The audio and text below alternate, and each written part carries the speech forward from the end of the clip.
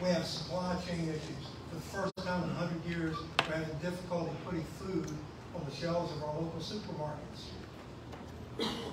We have every port in America is packed with 20, 30, 40 cargo ships that are sitting dormant because they can't be unloaded because we don't have dock workers. Our airlines have set a new standard of inefficiency. I read just yesterday that between June 1 and June 28, between our top, top two airlines, Delta and, American, we had over 7,000 cancellations. The reason? Because they said they don't have pilots, they don't have stewards, they don't have attendants. Why do we, why do we have a shortage of people? Because we fired them because they wouldn't take the vaccine. We have thrown hundreds of U.S. Navy SEALs out of the military. We have thrown hundreds of U.S. Army Rangers, Special Forces soldiers, and other soldiers out of the service.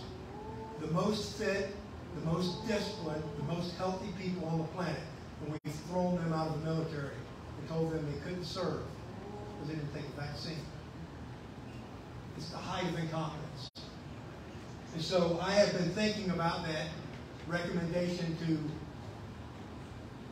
maybe open with a joke or provide a little levity, maybe provide a little more chemistry between me and me and the audience. But I'm going to tell you, I'm not interested in providing levity for your entertainment tonight. One of our biggest flaws as citizens of the United States is we lack the appropriate level of sobriety when it comes to the fact we have people that are systematically, methodically disassembling, destroying the United States of America because they hate the United States. And I'm not going to joke about it. We shouldn't grin and laugh and smirk and make small of it.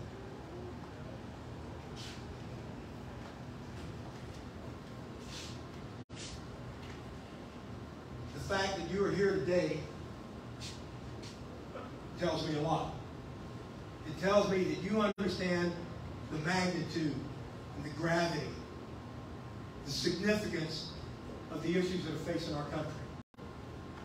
I also infer by you being here, you understand the need for an immediate and comprehensive solution to these problems. The 2022 election is a pivotal, seminal point in the history of our nation. We need to understand that because everybody outside of Georgia does.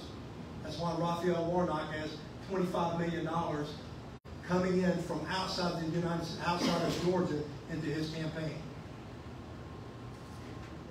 This election, the way we vote in November, is the way our nation will go. Like you, I've been looking at the candidates. Who's got the vision? Who's got the willpower? Who's got the backbone to best protect my family? And the very clear answer to that is precisely why I'm here with you tonight. Because I made my choice. It's Herschel Walker. Now, I'm going to do a couple of things here that are going to throw the campaign staff into cheetah flip. Maybe like you stick, stick to the script. But I'm going to introduce Herschel in a way that he's not been introduced before. Tonight, I'm going to talk to you about Herschel. I'm not going to talk to you about Herschel, the athlete. I'm going to talk to you about Herschel, the man. I am sure, I'm confident, Herschel, you me. I don't think there's anybody here. I'm 99.99% sure there's nobody here that has known Herschel longer than I have. I've seen Herschel in great times. I've seen Herschel in bad times. And so, before he comes and addresses you tonight, I want you to give me just a couple minutes. And I want to tell you some things about Herschel, the man, that you can't learn by reading his biography. The first thing that always comes to my mind, the first adjective, the first descriptor that comes to my mind when I think of Herschel is authentic. He's real. What you see is what you get. Herschel doesn't have a public persona and a private persona like so many politicians. He's exactly what you see. It doesn't matter if he's here in Georgia, if be sitting in the Oval Office with the president. it Doesn't matter where he is or who he's with. He's the same guy. And if he's talking to you, he's going to give you the same courtesy that he does to the president. That's who he is. I can't tell you how many times over the years I've had people ask me, they pull me aside and say, Mike, give us a deal on Herschel. He can't really be that nice. It's got to be some kind of facade. I tell them, well, the truth is, he's actually nicer than he comes off on TV.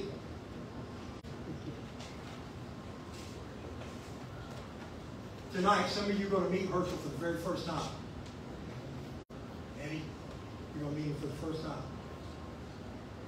And I want you to know that when he's shaking your hand and he's looking directly into your eye and he's listening to you intently, I want you to understand when he treats you like his next of kin, that that's exactly how he feels. There's not two Herschels.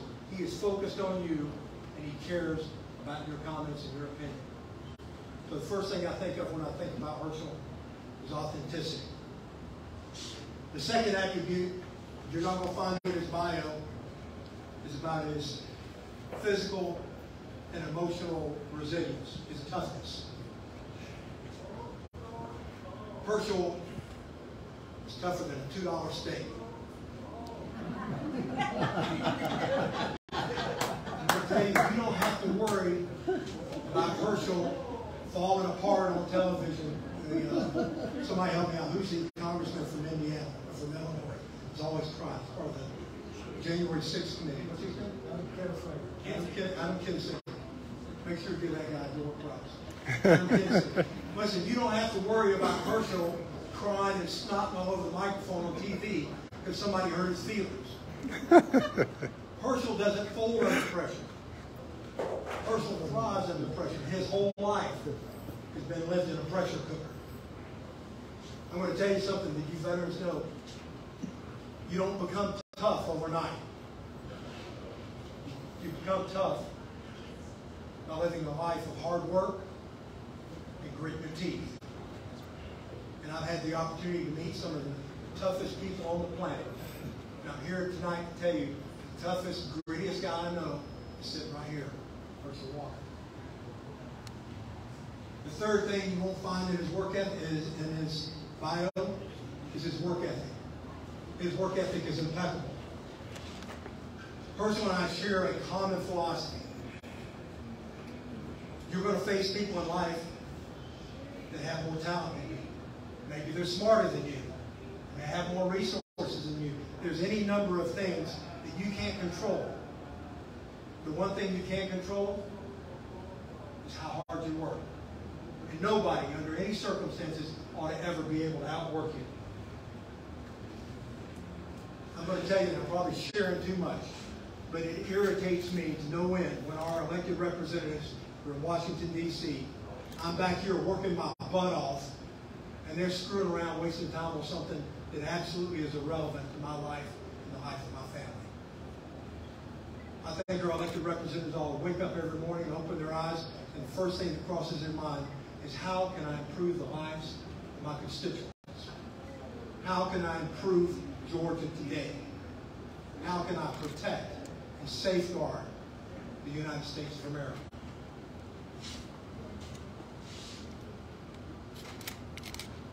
Her, Herschel's work ethic will drive him to focus on Georgia goals and he'll do that without being distracted. And the last thing that I want to tell you that you won't find in his bio, Herschel is kind and he's compassionate. I think we've got press here. Don't misquote me and say I didn't say he was soft. I said he was kind, and compassionate. I have never, in all the time I've known Herschel, ever heard him speak disparagingly to or about anyone. No condescension, never putting anybody down, always treats everybody with dignity and respect. Herschel has volunteered over his adult life innumerable, innumerable times. I think we've got a map here to show to visit military installations both here in the United States and around the world, to visit young warriors And I always know when Herschel did a new installation because I'm inundated with emails, phone calls, text messages by young warriors who are elated that Herschel Walker will take the time to come and sit down and talk to them. He does that because he has time and he cares. Back when we had our 25th National Championship reunion in Athens, I was deployed to Iraq for a year.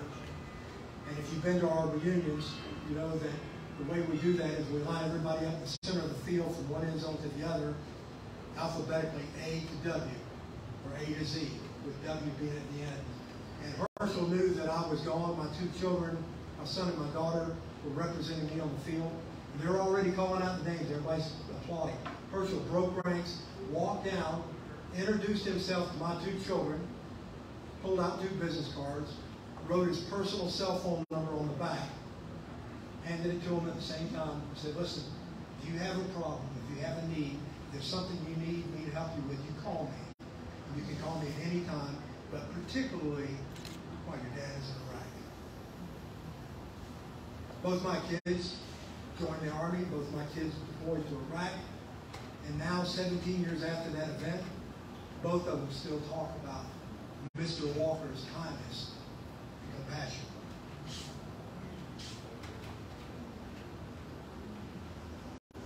There are a number of reasons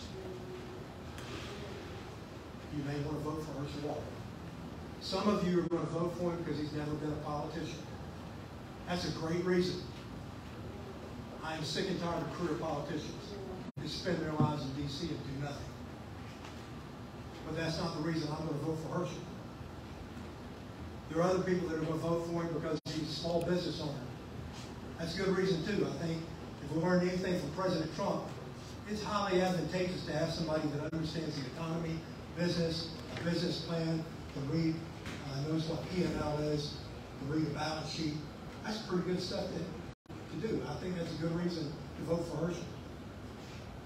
But that's not why I'm voting for Herschel. I'm voting for Herschel Walker because I trust him. I've known Herschel most of my adult life. Herschel is a Christian. Herschel's a Christian. Herschel Herschel's a father. He's a small business owner. Herschel has our values. Herschel has our work ethic. And Herschel loves his nation the way that we love our nation. If there's one word that I could sum up this election, 2022, I would tell you this election is completely about trust. The future of our children and grandchildren hang in the balance. And so the question I'll leave you with tonight is, who are you going to trust? I'd ask to give a very warm and energetic welcome to my good friend and the next senator from Georgia, Herschel Walker.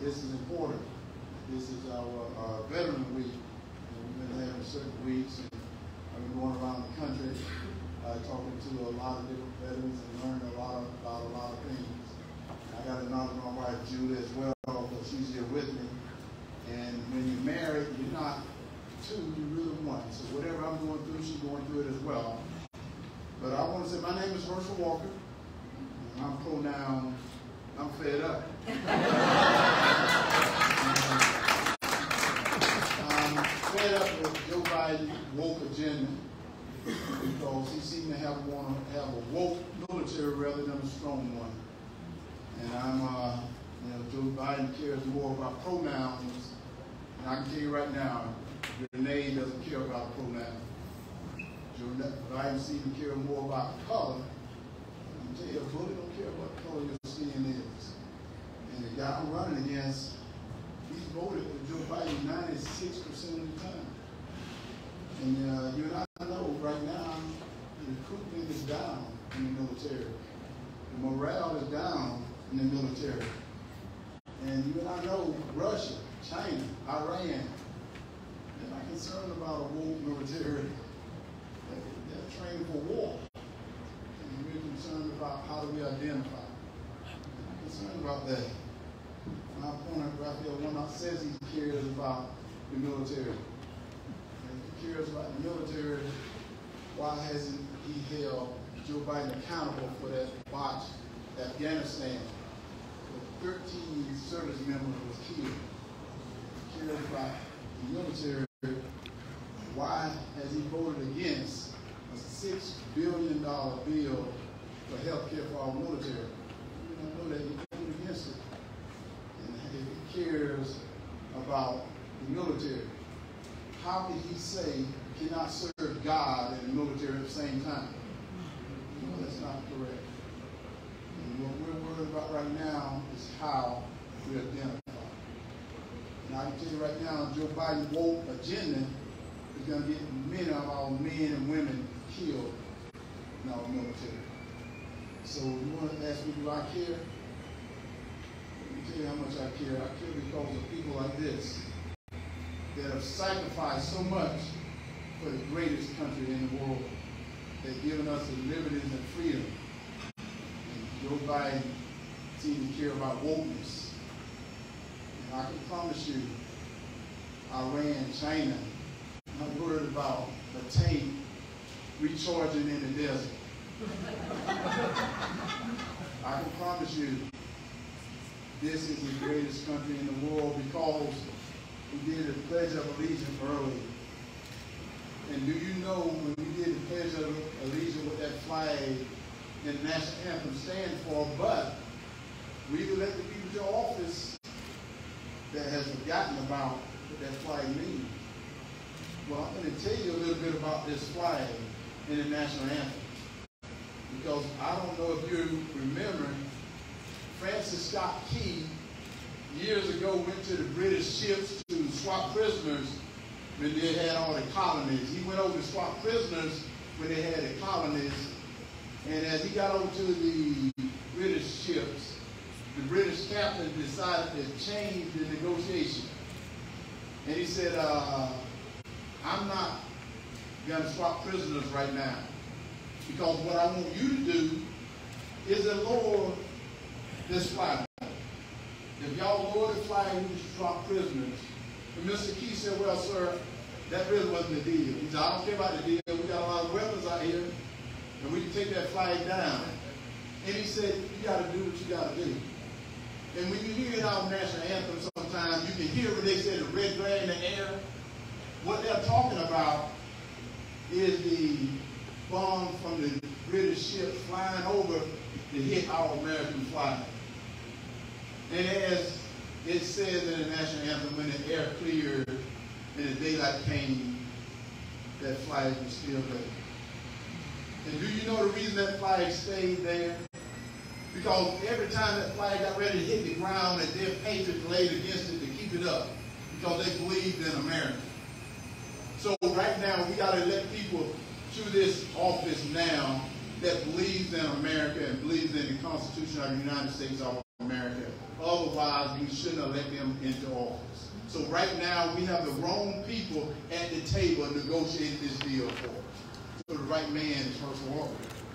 Because I'm going to tell you this story, and I heard this from uh, a friend of mine. He said, everyone think the grass is greener on the other side. But I'm telling you it's not. Because I'm going to tell you this story. There was this bull out in this field one day. Then he had grass up, up to his knees. And he had like six cows out there with him, and he, he had everything he wanted but in the other field that didn't belong to him, there were three other cows in the far distance. And he kept his nose at the fence just looking at the three other cows. I'm worried about the six that he had right here. And so he decided that he's going to jump the fence. So he was measuring the fence up. He was measuring the fence up, and all of a sudden one day he decided he's going to give it a shot. He biked up. And as he took off running, he dove and barely made it over the top. His belly was all scratched up. But as he got up, he realized, I'm here, I'm here. So he got all excited. He ran up to the top of the hill to meet the other cows, and he realized they were bulls too. and the reason I tell you this is we have forgotten about the liberties and freedoms our great military has given us. And it is time for us to wake up. It is time for us to stand up. And don't be afraid. I'm sick and tired of people being afraid because too many people have died for you to have that freedom and liberty that you have. Too many people have died for you to have the speech that they have guaranteed you to have. So don't be afraid. And I told you, no weapon formed against me shall prosper. Hey, I love America. And all you and my family. And I would die and I'll fight for you right now. Because I won't wake up tomorrow and realize this country is not the country that I was born. And if we've elected the wrong people to offer this coming November, we are not going to recognize it. I want to thank you and call Mike up and get Mike, and you want to ask questions. This is his microphone, but I want to say God bless you guys. And I want to tell you, come November, tell your friends to get out and vote. Tell your friends to do what they can because this is going to be one of the most important elections in our history. It's coming up in November. I can promise you that. You can see what's going on around you right now. I don't have to tell you. You know, I don't have to tell you the gas prices. It's not my fault. But I can't lay it in the hands of I'm running against. You vote against the pipeline. You can see the cost of groceries is not my fault. The guy I'm running against, he voted against. He had to fight for that fight for the uh, Keystone Pipeline. The crime on the street is not my fault. Guy I'm running against, he voted for softening crime. That's not America. So it's time to put someone at the table that I'm going to say the buck stops here. Hey, I don't have to dance and sing for nobody. I'm not beholden to no one in Washington. I'm not beholden to no one in Washington except the voters that put me in office. And I can promise you, I'll fight for it. Like I never else did. And God bless you, God. Thank you, God.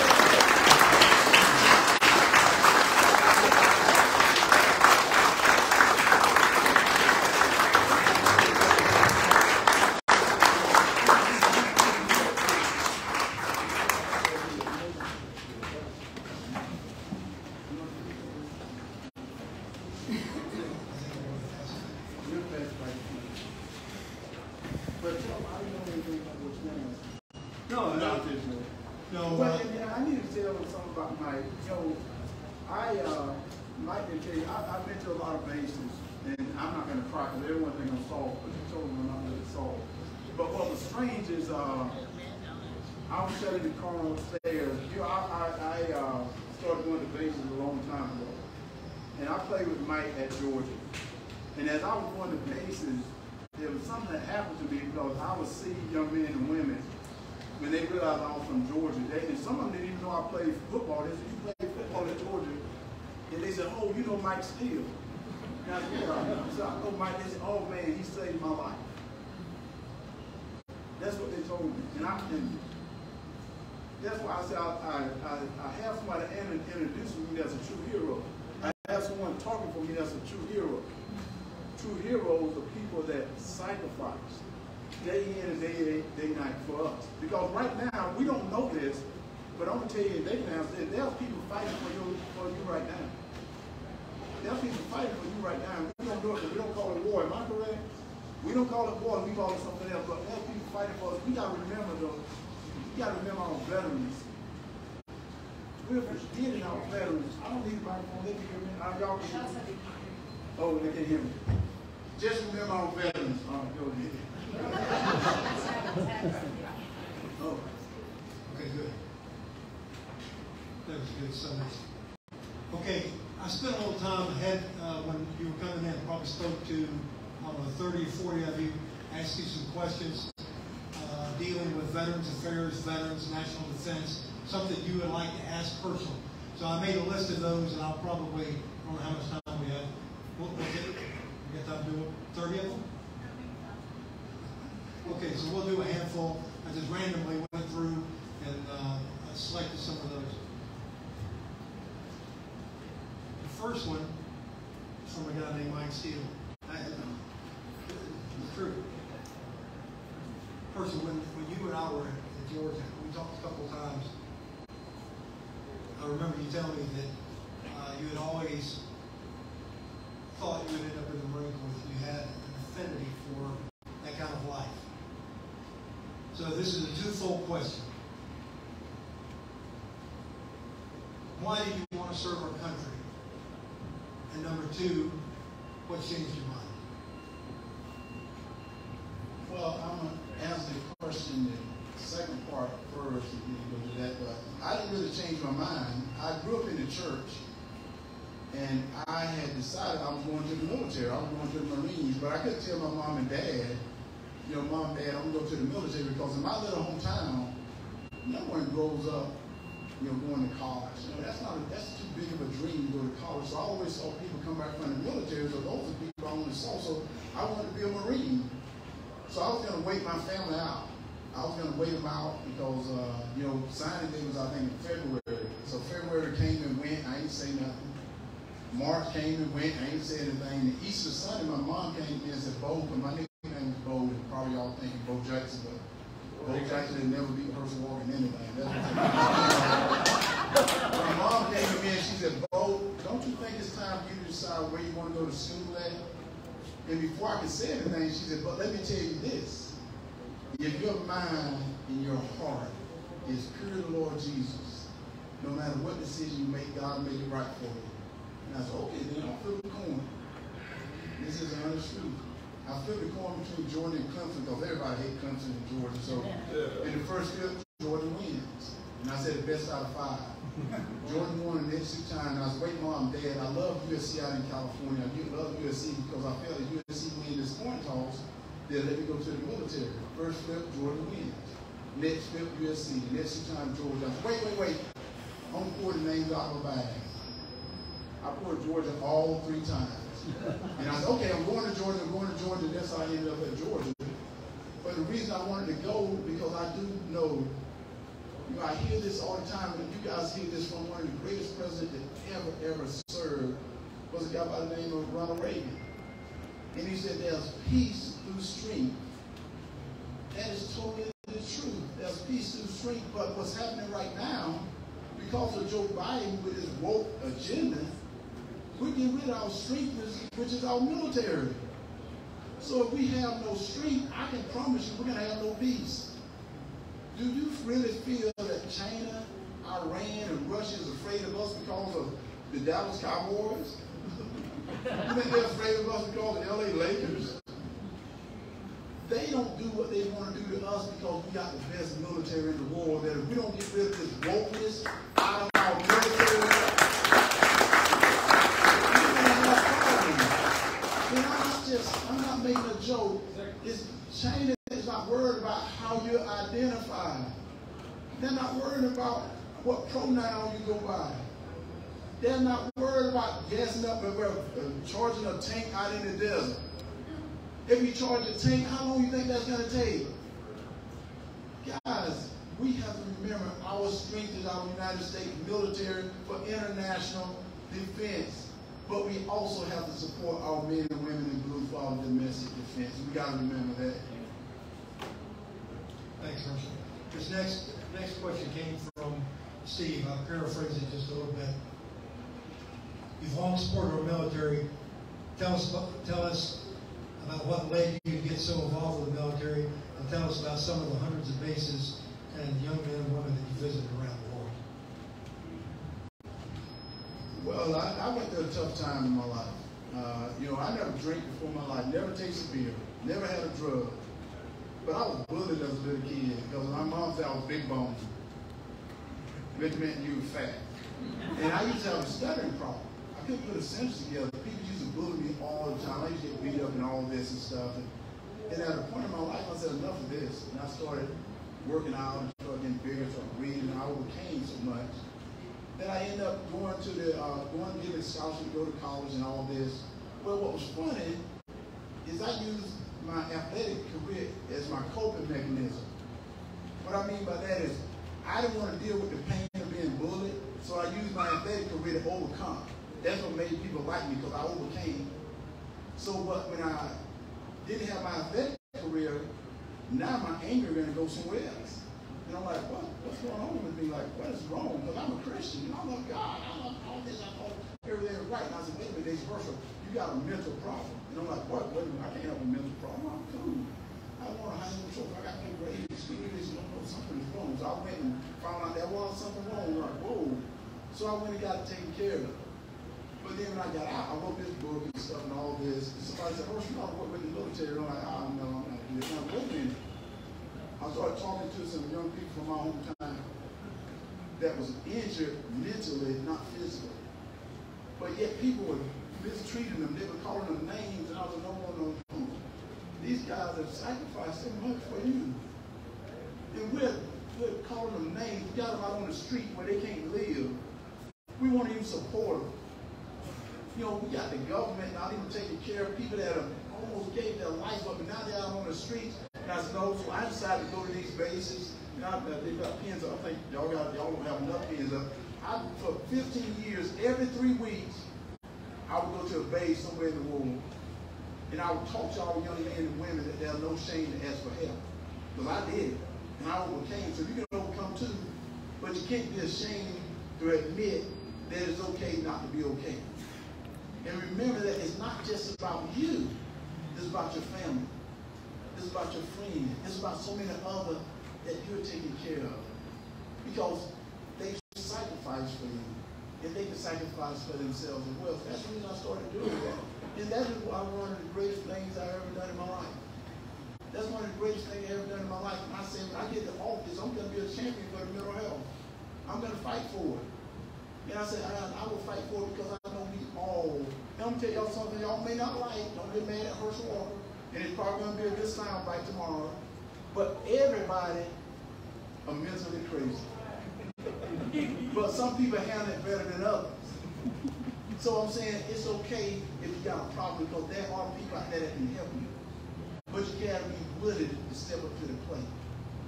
And I, I told people, and Mike said, yeah, I got a problem. I'm, yeah, I'm weak. But don't test me now. I can still throw down if I need to. But don't think that, that went too far. Anyway, that's okay. We got a picture of that. Having a 29-year experience in combat units in the infantry, I saw a significant amount of mental issues, challenges when they came back. What, when you when you were speaking to these young men, these women, tell me what kind of response did you get? Um, was there, because there, there's a great reluctance. You're right; they don't want to talk about it because we we appropriately fan the flames of I'm tough, I'm strong, I can beat you, and uh, there's some reluctance to admit that. Tell me what kind of you got from these young men. Well, first of all, I put our servicemen and women with servicemen and women. I don't try to put with civilians that they're gonna now, because civilians not gonna understand. They haven't seen it, and I, I'll give you a prime example. I was at an MMA fight. I was at an MMA fight, and I was sitting there, and I'm not gonna name the athlete, but I was sitting at this athlete, and one guy got cut real bad. He got cut so bad that he started bleeding everywhere. And all of a sudden, you can smell the blood. I don't know if you, you guys seen a cut, but you never smell blood. And the guy went, whoa, what is that? And I said, that's got blood. And I said, he said, whoa, I can't believe it. Well, we send our young men and women over to places that we have no idea what they have to go through. We have no idea what they have to smell, no idea what they have to do. And they do it and they do it well. And then they come back here, we call them names because we watch too many TV shows. So by me going over and telling them, guys, I've been through it. Guys have called me names, guys have done all this stuff to me, but do you know what's so funny? I'm free. Hey, I felt the Guys, I'm saying, you know, I got out of the, the hospital. I'm in the fort every day. I'm going to a lot of my fights. I'm doing good. And it gives them the inspiration that they can do it as well. But I tell them it's not going to be easy. But they're out there serving men and women. They've been through. So willing to work. And that's why I say it ain't going to be easy. Nothing is easy in life that you want. And if it's easy, it's not worth it anyway. So you got to fight for your life. You got to fight for it. Well, on behalf of the hundreds of young men and women that have contacted me with emails, texts, and phone calls, thank you for doing and engaging them. They appreciate that greatly. Well, I mean,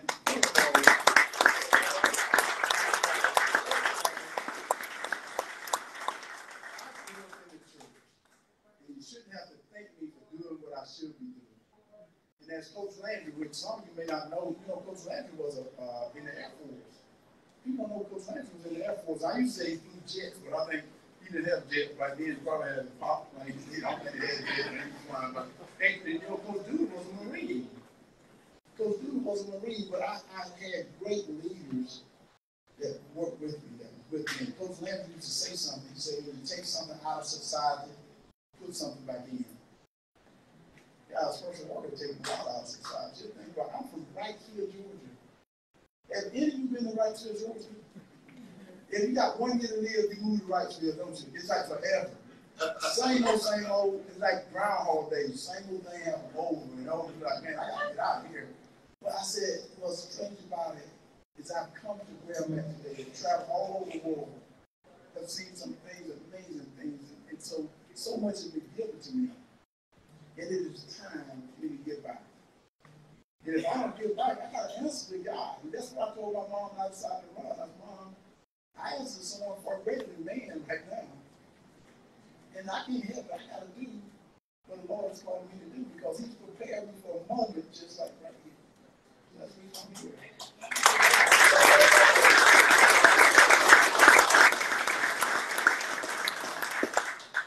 All, when you get into the Senate, I'm sure you give it some thought to this. Do you have any specificity, any plans, any conceptions of things that you would like to do specifically to assist veterans in this pursuit of uh, mental stability? Well, you know, that's one thing I've been doing is I've been going around the state and listening to a lot of things because, you know, Georgia also a huge agriculture thing. So, you know, I, I want to be on the agriculture committee. I want to be on the Veterans Affairs committee because I want to try to help veterans. I want to, because as I, I was, had a meeting today and I heard something that was very disturbing. And I'm saying it because I'm just shocked at this, that because we have veterans that didn't take the vaccine they lose all their everything that they work for. It is taken away from them. Are we serious? Are we really serious that we would do that to our heroes that fought for this country? We got to take their benefits because they won't do what you say. That's what we're leading into if you don't get this vote right come November. The government will run your life. Because, and I hate to say that the Democrats want to control you, the Republicans seem to want to serve you. And I tell people this all the time. I would rather live on my feet fighting for my rights than on my knees begging for something. Because that's what man is doing.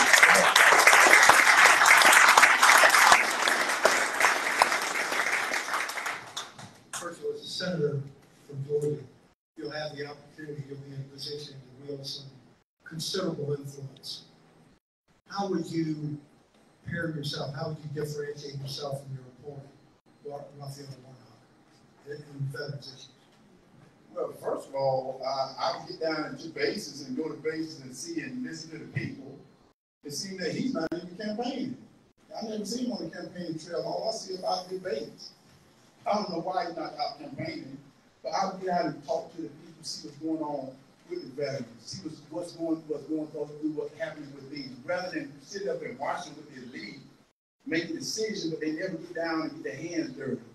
You gotta get your, you roll your sleeves up and get your hands dirty. I don't mind getting dirty. And that's what I would say I would do. That's what's gonna make me different, because I don't answer to no one. That's what, I don't answer to no one, and the guys, the person walking, I said earlier, I've never, I don't dance and sing for nobody. Is that not true? I do it my way. Because I do it the way God wants me to do it. I don't dance and sing for nobody, and I never will. That's not the way I do things, and I serve the people, not no political group, not no press thing. I serve the people because when people get elected to office, they're supposed to serve the people that elected them to office and not serve themselves or serve some party. Why do our military service men and women take an oath that I will defend this country, foreign and domestic, with my life, and they're held accountable? But when you go to office and elected office, is it not you to defend the Constitution? And yet they're now the one to defend that. So who's gonna hold them accountable? Don't make Herschel walk in.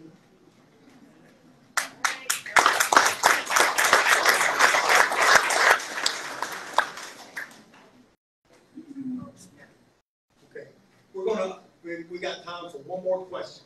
So I'm gonna open it up to the audience. And Eddie, you got a question?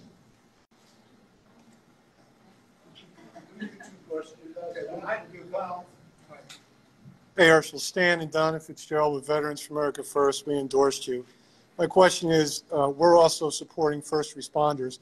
We know you love the veterans, but could you just tell us a little bit about your feelings for our first responders? That's what's sad. Our first responder during the pandemic, our first responder was, they were there for us.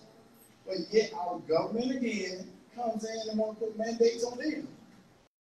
And it is amazing, why do you want to continue to put mandates and set through control? All the first responders every day, they're called. And right now, the morale is down. The morale is down, recruitment is down. And it's only down because of why? Because we put the wrong people at the table negotiating for us. And that's why I said, guys, you, you gotta get this right come November. Tell your friends, you gotta get it right. And if there's some other country, and maybe somebody in the audience knows this, maybe I don't. If anyone in the audience know a country better than the United States of America, please stand up and tell me where it's at. Stand up and tell me where that country is at, because maybe I wanna go. Because I can promise you there's not nothing better than here. Because to have the decision you have here, you can't do it in no other place. You can't do it in any other place. Yes, sir. Herschel, if God willing, you get elected. No, no, I'm gonna get elected.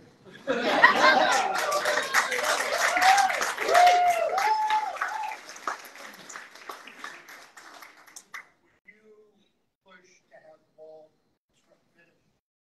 Oh, that's no doubt. I, I believe in legal immigration. And I'm not sure why all the equipment is laying down on the ground. They just finish the wall. We gotta have legal immigration. That's one of the things I've been seeing in my business session. As I've been meeting with the law enforcement, one of the major problems they said they're having is immigration. And I'm gonna tell you guys something you may not know, and I didn't know this, because Georgia's not a border state. But I learned that seventy percent of the drugs coming over the border go through Atlanta, Georgia. And you go, wow. So we have to have legal immigration. And I, I, I, I anything that we can get legal immigration and, and we have to do that. May I ask one question? Yes.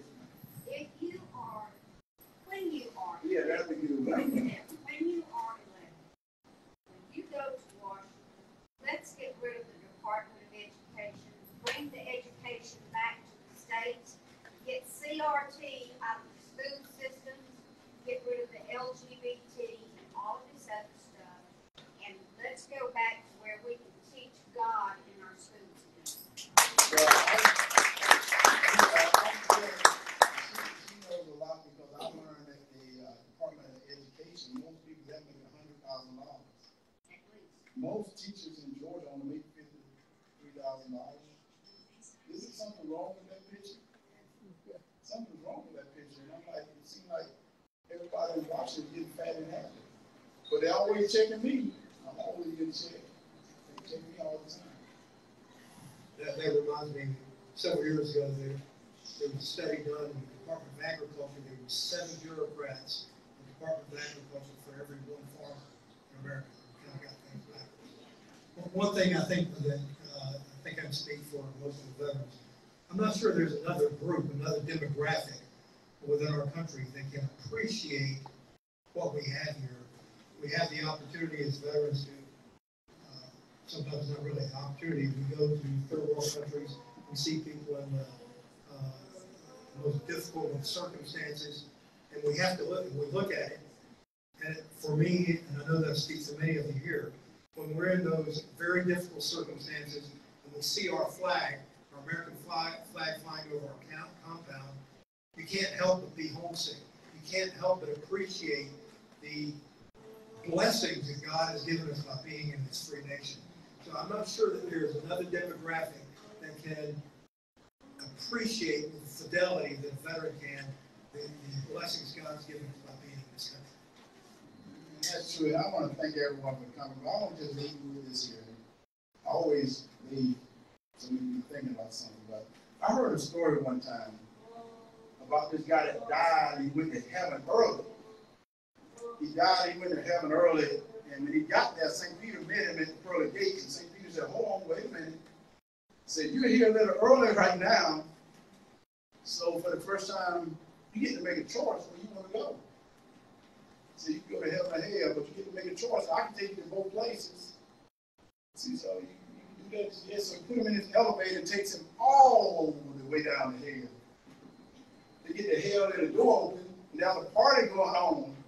People having a great time. People drinking, they having friends there, and he's just having a marvelous time. People dressed nice, looking good. And St. Peter came to him and said, We gotta leave now, we gotta leave. He said, Wait, I gotta go right now. He said, Yes, you gotta make a choice. He said, Yes, indeed. Get in go all the way up to heaven. They get to heaven and the doors open. There's people floating around the clouds. The weather's nice, and people just laughing and having a good time.